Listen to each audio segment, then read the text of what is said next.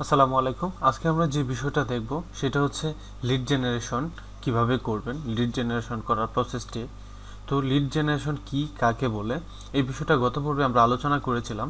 আজকের পর্বে আমরা প্র্যাকটিক্যালি লিড জেনারেশন শুরু করব।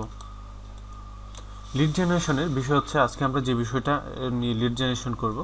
ধরুন আপনার ক্লায়েন্টের কিছু বিজনেস রয়েছে বা আপনার যে বিজনেসটা রয়েছে, সেটা হচ্ছে আপনার কিছু এসি রয়েছে বা আপনি এসি বিক্রি করতে চাচ্ছেন, সেটা হচ্ছে আপনার এসি। তো আপনি আপনার এসির জন্য টার্গেটেড কাস্টমার টার্গেটেড কাস্টমারদের কাছে আপনার এসিগুলো সেল করবেন। এই এসিগুলো সেল করার জন্য, আপনার টার্গেটেড কাস্টমারদেরকে সেল করার জন্য আপনাকে প্রথমত ভাবতে হবে, এই এসিগুলো কোন কোম্পানি মানে কারা কিনবে? নর্মালি এসিগুলো কে কে কিনতে পারে, কারা কিনতে পারে? সে বিষয়গুলো আমি আপনাকে একটু প্রথমত আপনার এটা জানতে হবে। জানার পর আপনি যারা এসি কিনতে পারে বা কেনার সম্ভাবনা রয়েছে, তাদের কাছে আপনি মার্কেটিংটা করবেন।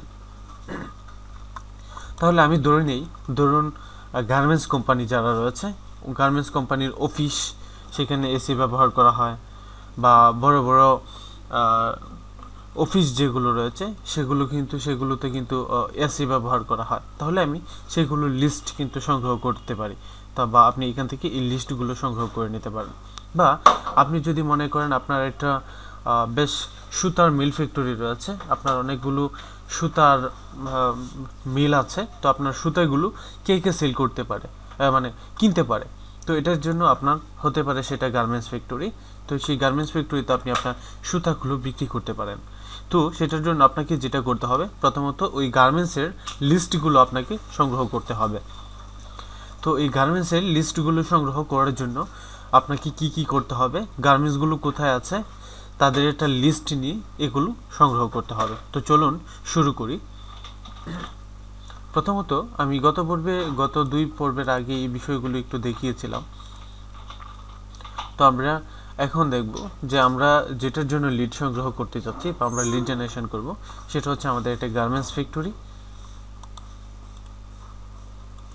তো আমি এদিকে একটু যাই। যেমন আমাদের কাজটা রয়েছে, কাজটা হলো আমাদের বেশ কিছু গার্মেন্টস রয়েছে যেগুলো, যেমন আমি যদি একটু বলি যে বাংলাদেশের যে গার্মেন্টস ফ্যাক্টরিগুলো রয়েছে, ঢাকা, সেই গার্মেন্টস ফ্যাক্টরিগুলো একটা লিস্ট তৈরি করতে হবে। আমার ক্লায়েন্ট হয়তো বা আপনার, আমার কাছে গার্মেন্টস ফ্যাক্টরির যে লিস্ট রয়েছে, সেই লিস্টগুলো আমার কাছে চাইতে পারে।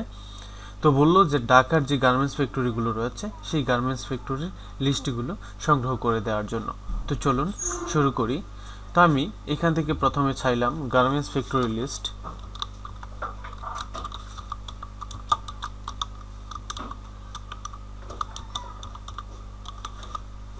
আমি এখান থেকে garments factory list in Dhaka দিলাম।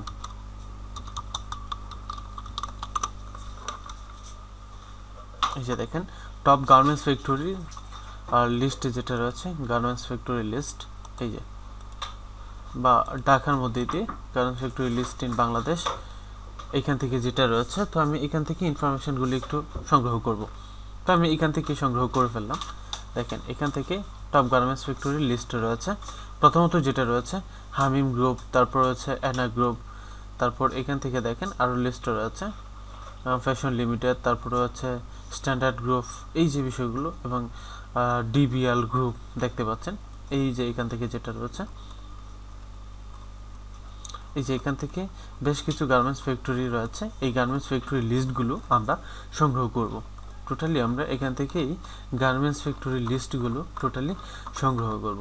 তো আমরা এবার এখান থেকে একটা লিস্ট পেয়েছি এবং আমরা যদি আরও নিচে যাই, তাহলে কিন্তু আমরা আরও অনেকগুলো লিস্ট সংগ্রহ করতে পারি। যেমন আমি এখান থেকে এই যে ফ্যাক্টরি লিস্ট যেটা রয়েছে এটা এখান থেকে তারপর হচ্ছে লাস্ট আপডেটেড গার্মেন্টস ফ্যাক্টরি দু হাজার আঠারো সালের এগুলো না, চাইলে আপনি বিশ সালের আপডেটগুলো নিতে পারেন।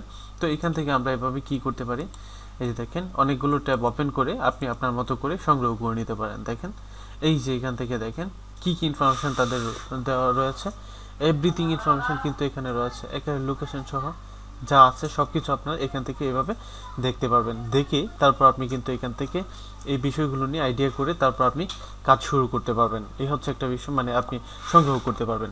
তো আপনি এখান থেকে এভাবে নেবেন। তো নেক্সট পর্বে আমি দেখাবো আপনি কীভাবে এগুলো সংগ্রহ করবেন এবং এগুলো কীভাবে আপনি সংগ্রহ করে ক্লায়েন্টের কাছে জমা দিবেন। তো চলুন